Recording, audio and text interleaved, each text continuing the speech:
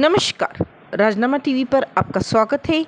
मैं प्रिया, आपके साथ आइए देखते हैं देश विदेश की प्रमुख खबरें। श्री राम जन्मभूमि मंदिर में प्राण प्रतिष्ठा 22 जनवरी को संभव। पीएम के आने की औपचारिक घोषणा बाकी। स्टार्टअप निवेशकों से मांगा जा सकता है रिटर्न। आंध्र प्रदेश के पूर्व सीएम नायडू 370 करोड़ के डेवलपमेंट घोटाले में गिरफ़्तार। मोरक्को में तिरसठ साल बाद सबसे बड़ा भूकंप 1040 की मौत 1200 घायल। मालदीव में राष्ट्रपति पद के लिए वोटिंग खत्म, सोली और मुइज के बीच मुकाबला। क्यूबा में युवाओं को रूसी सेना के साथ यूक्रेन में लड़ने का लालच देने वाले अरेस्ट। लश्कर आतंकी रियाज अहमद की मस्जिद में गोली मारकर हत्या।